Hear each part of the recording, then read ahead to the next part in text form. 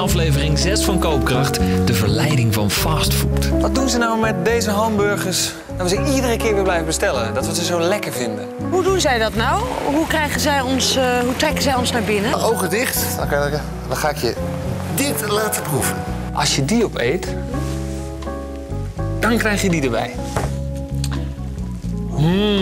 Maar ik zie nu daar rondom die M een soort groen. Ja, dat klopt. De marketing is het allerbelangrijkste, want dat is emotie.